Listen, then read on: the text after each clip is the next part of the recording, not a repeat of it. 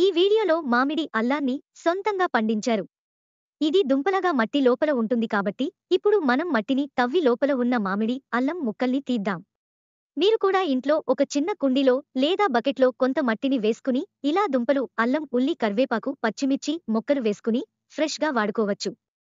మా ఇంట్లో ఏమేం మొక్కలు ఉన్నాయో వాటికి ఎలాంటి ఎరువు వేసి పెంచుతున్నామో తెలుసుకోవాలంటే లైక్ చేసి కామెంట్ చేయండి. thank you.